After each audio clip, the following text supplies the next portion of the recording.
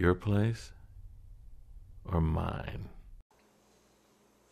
Hello, everyone. It's Scott Palermo from scottandjimhomes.com coming to you with your monthly real estate update for your target community, Mission Hills Country Club, with the community being Mira Vista, located in lovely Rancho Mirage, California.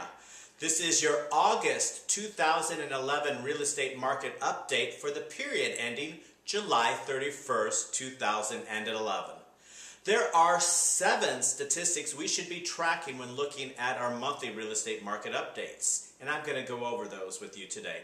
First of all, there are currently 18 active listings at Mira Vista, with three properties currently in escrow. There has been only one sold in the month of July. Remember, we're out of season, so we're not seeing a whole lot of real estate activity. The average sales price being $686,000, with the highest sold year to date being $1.2 million. That is a nice size transaction at Mira Vista. Our average days on the market, that being the time it's taken to get a home sold, is 5.4 months. And lastly, and probably most importantly for both my buyers and sellers, they're always saying, Scott, what is the average dollars per square feet? And currently we are at $217 per square foot for our solds.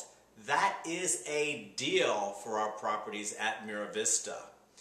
If you have any additional questions regarding Mira Vista, Mission Hills Country Club, Rancho Mirage, or any of our other desert communities, please pick up the phone and call me. Or you can go to my website at scottandjimhomes.com and email me with any of your questions. Remember, in real estate, knowledge is power.